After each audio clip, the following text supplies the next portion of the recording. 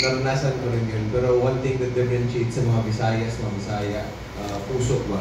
Hindi yung maatras laban lang kahit uh, we're not, we're smaller than them, we're not stronger than them. Pero one thing about the Visay mga Visayas, uh, we're tough and palaban. Ako, oo, nakasuway sa kuha na. Uh, nakahinga na kayo kuhan mo, uli na yung Cebu. Hindi na ako kaya dito. Na ako.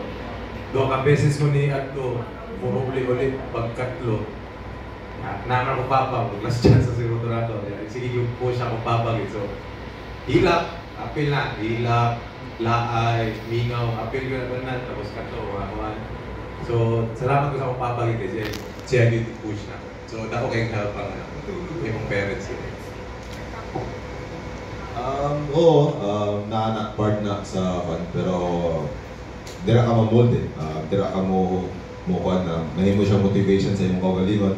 And na abot po na sa point na maghilak uh, pag abot na dito uh, like na ko yung coach pag uli sa coach kay hilak ko kay lagi ningaw na uh, layo sa pamilya pero ah, una-una na ka sa magalingon magunsa mo sa mo basing mangingisda na kung pag uli ba dapat na may dagat, so wala akong yun na una nga, kasi pag uli na ako sa wikan ko na mo, so ano, sabak na yun, dugon sa ikon, bahala na, before ko na po dito, ano na coach nga, lampasuhon ka na nila, discriminate ka na nila, pero uh, di na ka mo kusgan eh, uh, yun na, uh, sa, ayaw mo si Kim na lahir rin ng mga Bisaya ko, uh, puso mo doon, uh, and most of the pros naman uh, came from provinces naman, so um, nagoy ko, nagoy ka padulungan ato ang mga sakripisyo.